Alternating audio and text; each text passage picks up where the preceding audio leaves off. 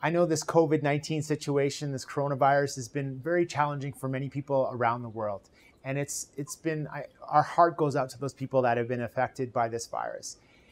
Just let you know that the HeartFit Clinic is here to continue to be of service to help you prevent and reverse heart disease, especially during this time uh, of COVID 19.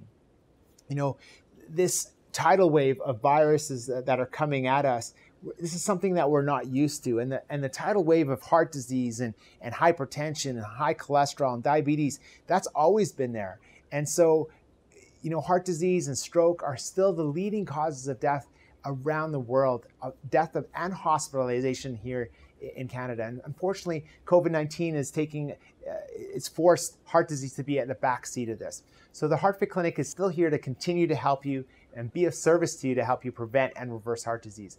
We're able to do video conferencing like this, where we're able to chat with you and do our consultations this way. We're doing video conferencing, telehealth. That's happening a lot more in our clinic as well. We're able to see you in our clinic, but we're minimizing the flow of traffic that's happening in our clinic, especially for those people that require our services. If you have high blood pressure or palpitations or, or high cholesterol or taking a pill for something or have artery disease or heart failure, this is now important more than ever that we are here to be of service to you to make sure that we can help you prevent and reverse that disease process.